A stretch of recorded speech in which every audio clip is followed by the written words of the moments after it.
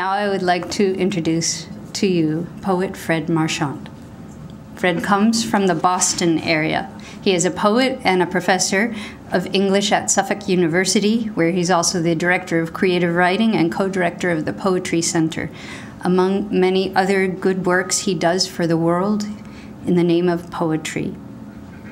And a few others include longtime teaching affiliate at the William Joiner Center for Study of War and Social Consequences at UMass Boston, co translator of poetry by Vietnamese poet Tran Dang Khoa of Hanoi, Vietnam.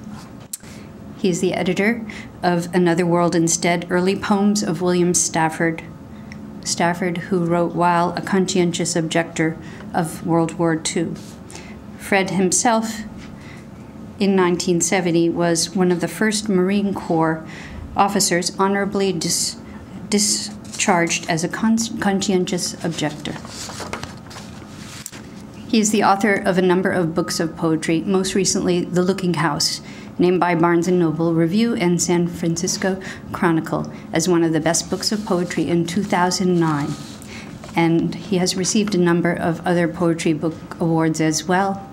Fred is here today to speak with us on poetry of pacifism. So please help me welcome Fred Marchant. Many of you may never have heard of a man named A.J. Muste, M U S T E. He was the longtime director of an organization you might have heard of, the Fellowship of Reconciliation. Fellowship of Reconciliation in this country is one of the really old time pacifist organizations. It was actually founded in England in World War I and then started the chapter here. Muste was the head of FOR when uh, World War II was on, and then continued on into the 50s in the Cold War. And he, um, he died after two shortly after, two, no, no, connection, but shortly after two visits to Vietnam in 1966 and 1967, first to Hanoi and then to Saigon. Um, and so, to his very, you know, his very last days, he was an extraordinarily active.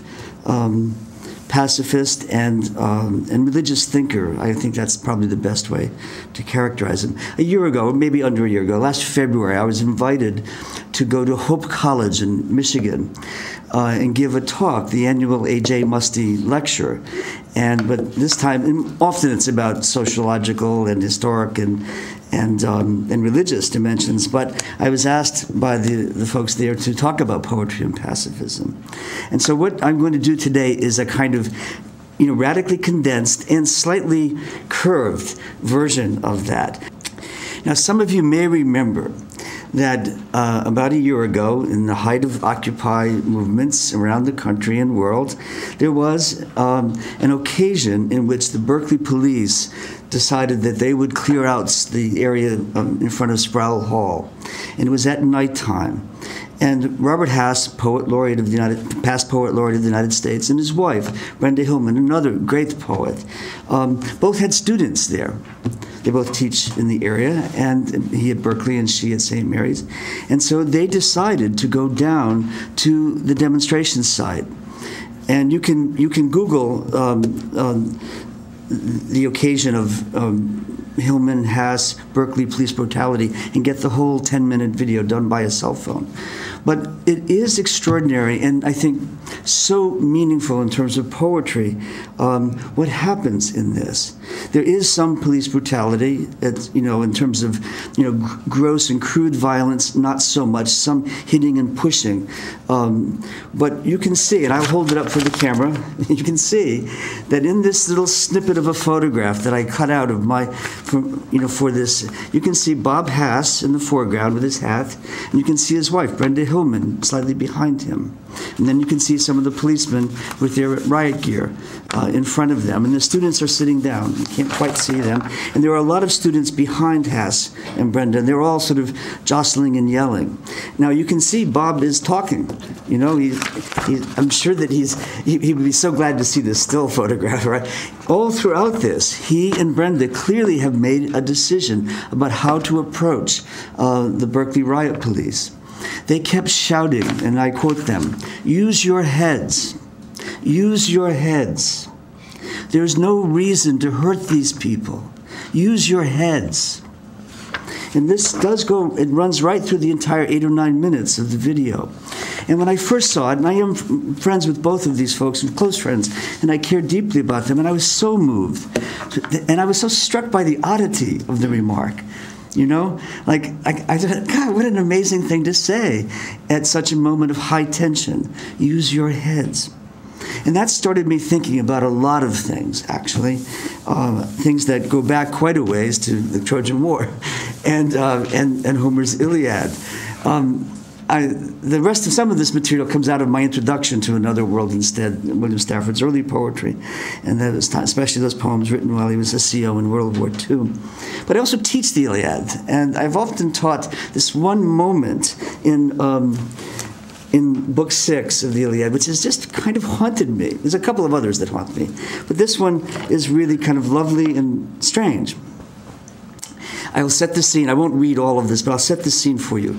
You know who Menelaus was. He's the wronged king. Helen was his wife. She's run off with Paris to Troy, precipitating the war. Menelaus gets into a sword fight with a guy, a Trojan, whose um, their fathers have been friends. It's the same culture anyway, and their fathers have been friends. And Menelaus bests him. He puts him on the ground. This guy's name is Adrestus, and and and Adrestus says, "Oh," he wraps his hands around his knees. and says, "Oh, don't! Our fathers were such close friends." He says, "Don't, don't, don't kill me." And Menelaus starts to say, well, "Okay, maybe I'll just send him back as a prisoner of war to the ships." And then the, the quote that I gave for you here uh, occurs when up rushed Agamemnon. He says, "You know, did they treat you so nicely, those Trojans? Why you, why do you want to send him back? Why do you want to let him live?" And then he says, uh, Would to God, this is Agamemnon speaking, would to God not one of them could escape. He could escape his pl- sudden plunging death beneath our hands. No baby boy still in his mother's belly. Not even he would escape. All Troy blotted out. No tears for their lives, no markers for their graves. Now, there are so many things to be said about this, but not the least of which is these two things. This, of course, is a description of genocide, isn't it? It is really, you know, the idea of eradicating a people. And then, secondly, and this is where the strangest aspect of Homer comes in. This is a, an epic about military and martial virtue, and there are virtues of all sorts. But there, and this perhaps is the most the purest version of military enforcement. And there is no lout, no no guy in this in this epic who is more um, more more pilloried by Homer than Agamemnon. He's probably the worst general that's ever lived. Manipulative, dishonest, and, and, clearly someone that Homer does not like. And I've always been haunted by the fact that, that the person who is least admirable gets, the, this, this, gets to say this in Homer. And I had a thought after that. I thought, you know, somewhere inside of the imagination of this epic is an idea that Menelaus wasn't all wrong to have a soft heart. Now, I don't want to make a big deal out of this and say that Homer is a pacifist. He wasn't. This, the, the, the, epic is not about pacifism, but it is about that moment that occurred where Adrestus pleads for his life, and Menelaus says, Well, maybe. And his brother says, No, forget it. Now, I'm going to jump from the Trojan War to World War II.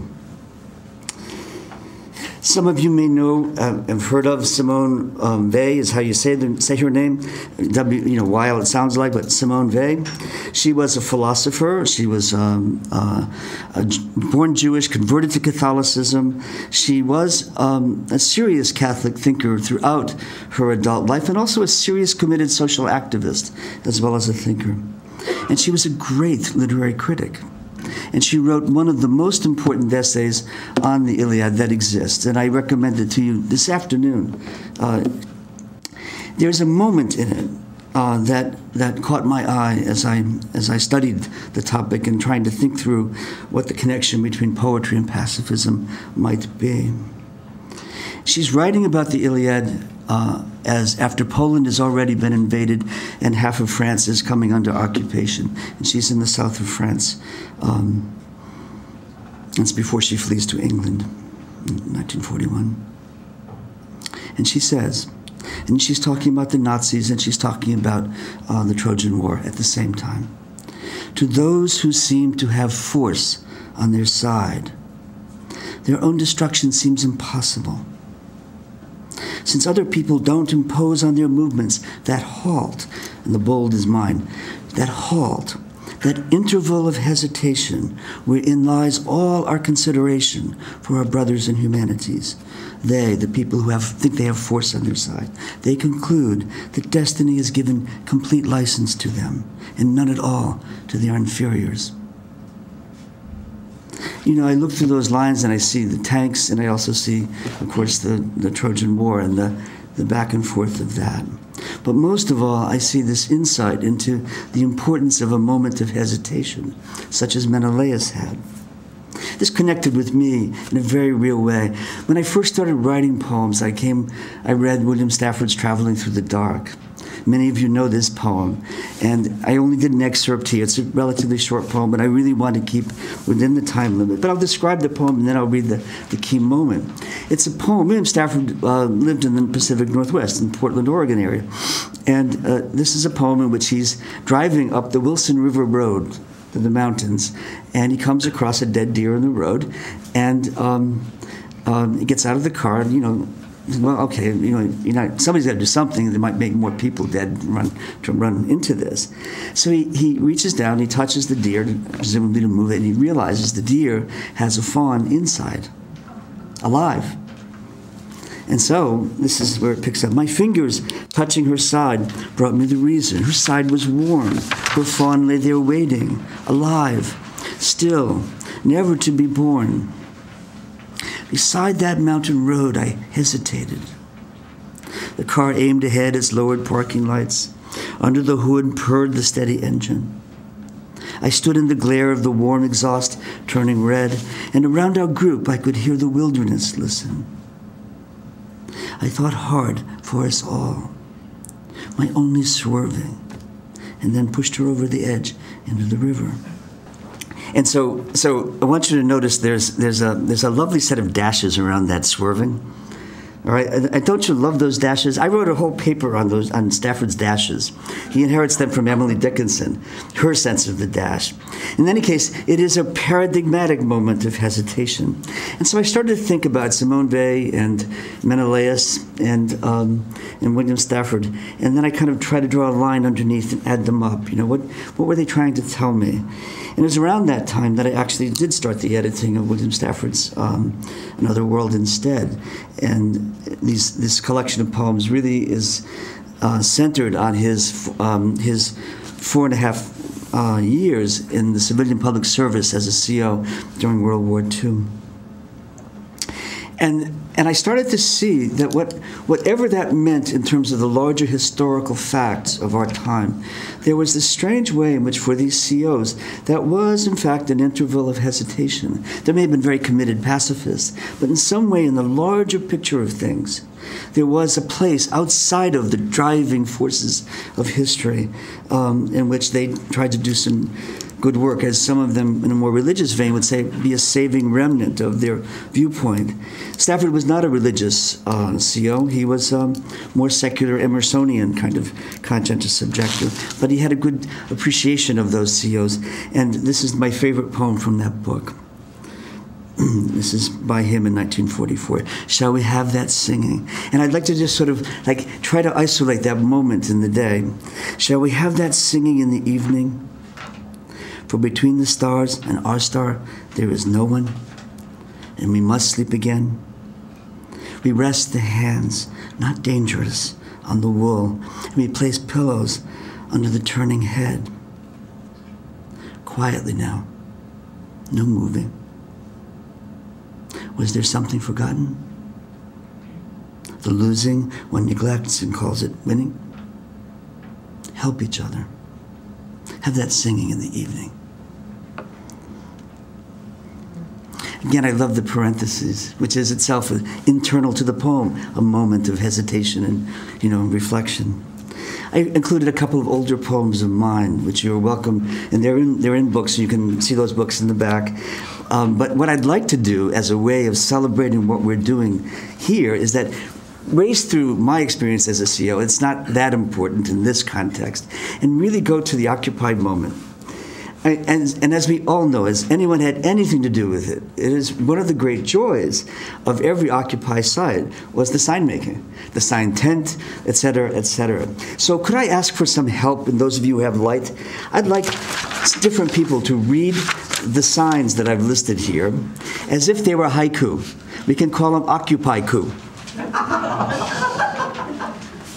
I'll start with the first one just to give you a sense. You don't, we don't want to rush this. These are signs that we're turning into poems. Or, you know, as I said in my note to Cheryl, they're kind of poems already, only, you know, they're just getting ready to be called such, right? First one Dear capitalism, it's not you, it's us. Just kidding. It's you. I mean, isn't that beautiful?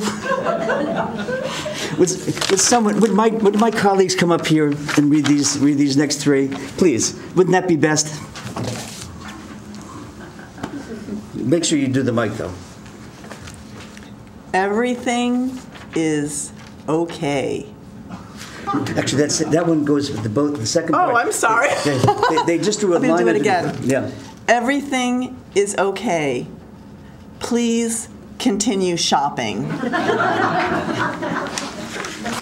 You have the right to remain silent, but I don't recommend it.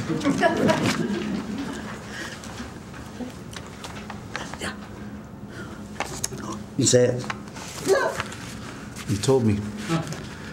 The only thing that trickles down was your. It was actually asterisked on the sign, but I think that, you know, since we all know, right, uh, we should say it. Uh, and then finally, which is truly one of my favorites ever, for those of you who don't remember the journalistic attitudes toward the Occupy movement, one of the things that the sort of the, the, the right wing was saying, you're not clear about what you want. So there was this guy in uh, Zuccotti Park who had a sign, just completely wrote it himself. He's completely not very visible. There's there's a photo of him. He says, "We're here. We're unclear. Get used to it." and of course, there's a great echo of gay liberation in that, isn't there? You know. I thought of these as as um, not just proto poetry or folk poetry, but as moments of arresting consciousness. And that's what people loved doing about making signs. They were making, with words, ways of having people pause for a minute, even hesitate. You know, taxi cab guys driving by, for instance, who would see a sign they liked and honk, right? You know, or people yelling even. And it struck me that that too is deeply connected to Menelaus and Simone Weil and William Stafford. So I'll end up with a poem of mine that I wrote on the last day of the Dewey Square. Um, you'll see that I typed it up the other night, and there's lots of typos in it, but I'll skip over them. You'll just you can make the corrections as you wish. It's called Shepherd's Field, and that Shepherd's Field is actually the translation of that place outside of Bethlehem called Bet Sahur in Arabic. Shepherd's Field. Black plastic garbage bags flapping, and winter wind said to be high tonight. Half the spaces without tents and tarps, naked ground. Rain soft dirt underfoot, the rest dull paving stones. The square's colors muted, quiet as the handful left, those who have decided to be arrested, who remain stacking the camp library. In the meditation tent, someone takes a nap, his legs straight out, kicking as if in a bad dream, perhaps of the sheer glass walls, the higher offices, the brick parapets of our vertical city, the banca, the lenders' tables, their shaven servants at the windows looking down at police in lime green dayglow vests, unflappable as their horses. A film project in mind. A man is shooting the billowing shapes that tents will take when the frames are pulled, the nylon full sails filling up. There is no fear anywhere. only a sense that the first part is over. In a wooden box in the sign tent, magic markers, bundles of brown cardboard, slogans of a birth pain wit, a language of differing ends and what decent means, the words now packed and ready to go under the chime of the South Station clock, a winter sun low and thin over this city's Bet Sahur, place of the night watch and manger. Thank you.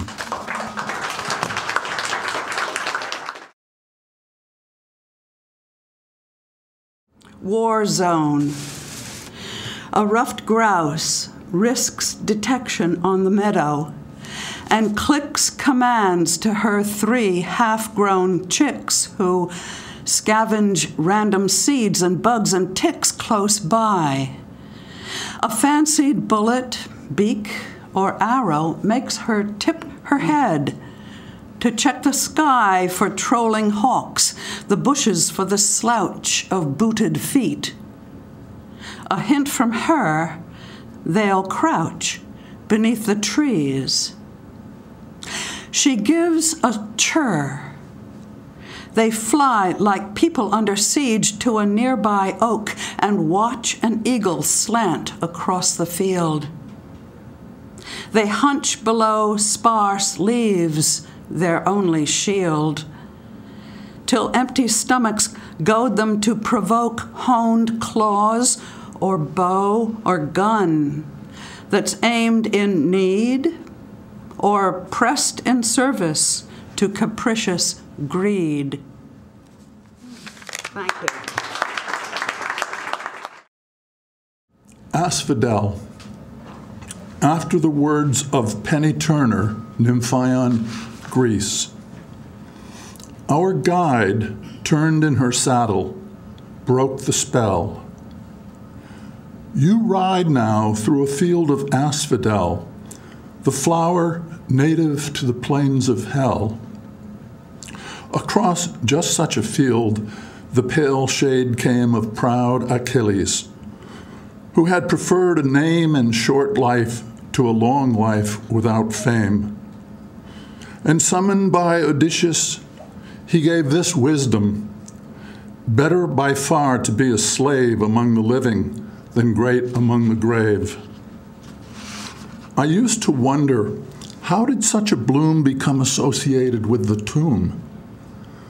Then one evening, walking through the gloom, I noticed a strange fragrance. It was sweet, like honey, but with hints of rotting meat. An army of them bristled at my feet.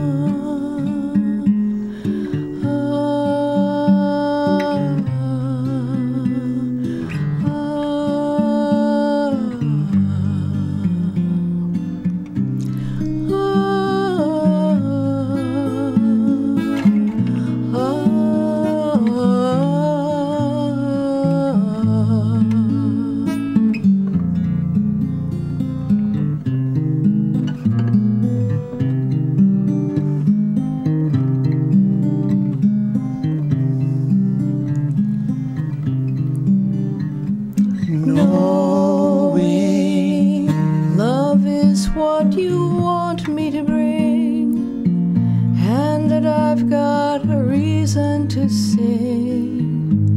I'm giving you everything. So you can cause all these dreams to come true. Oh, can't you just see we two? Loving the things that we do, making it new. Hold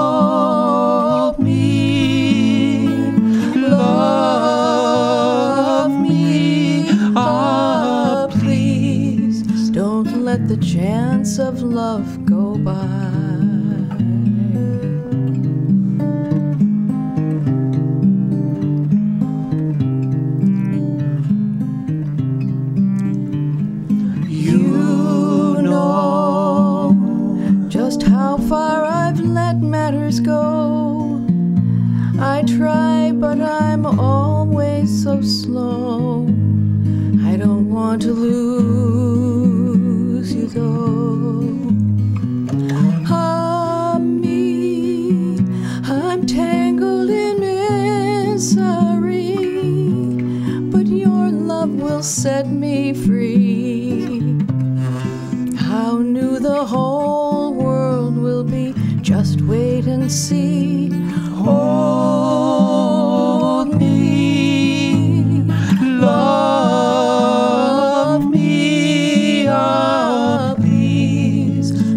let the chance of love go by.